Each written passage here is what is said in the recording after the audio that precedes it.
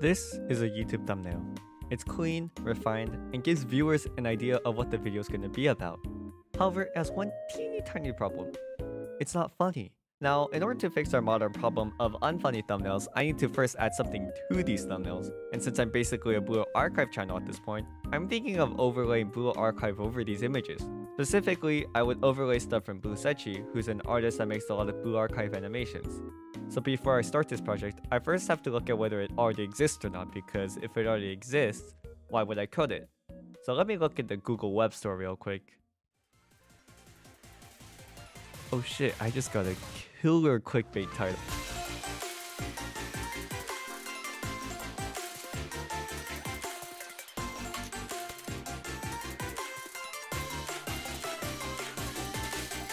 Alright, now with the YouTube title in mind, since this is my first time making a Chrome extension, I decided to go look at the tutorial for how to get started with Google extensions, and these are pretty much the main parts. Manifest.json is like the settings, whatever you want.js is the main program. I said whatever you want because you can basically name it whatever you want and just change it in manifest.json anyways. Popup.html and popup.js are the pop-ups for the extension and you can find those pop-ups by like, you know, like clicking up there in the search bar, that part, yeah. Now, I'm pretty confident I can get the last two parts, but for Manifest, I looked at the source of my inspiration, which was Mr. Beastify Jambofy for guidance. Honestly, you can just ask ChatGPT for guidance on this because it's very basic.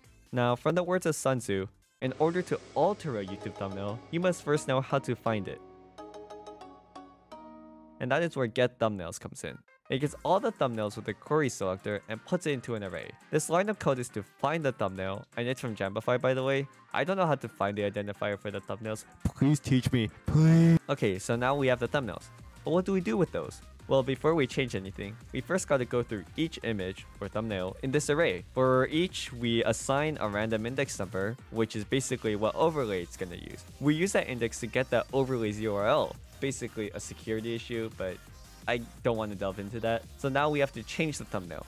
And it's pretty simple. I took the structure from Mr. Beastify, but it didn't look right, so I kept changing the values, and it looks a lot more like Jambofy's. So after we get all the settings for the overlay in place, we use append child for the image parent class, which is basically the thumbnail itself. I put the z index at 10 so that it knows that the overlay must be on top of the original thumbnail. If not, it could be placed under, which we don't want. Okay, so now we need to know when to apply these overlays. Well, it should first be called when you open YouTube, so we'll just put that in an initial call. Also, whenever we scroll down for more videos, it loads more thumbnails. So I use this thing called Mutation Observer, which is basically whenever it observes a mutation, which is whenever it sees more thumbnails, it'll call the function to add more overlays into the thumbnails.